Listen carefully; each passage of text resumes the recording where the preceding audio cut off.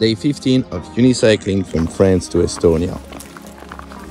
I start the day by walking back across the field to find again my super smooth asphalt road.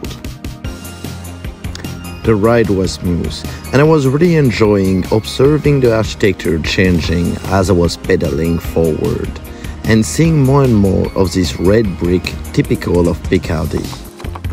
At some point, Geovelo sent me to some dirt road, where it was pretty much impossible to ride unicycle. This was not fun, so I just took a nap. Woohoo! New department! As I was starting to get tired, some worker on side of the road offered me a cola to Ciao, give me a boost of energy to pedal forward. Thanks for the sugar, guys.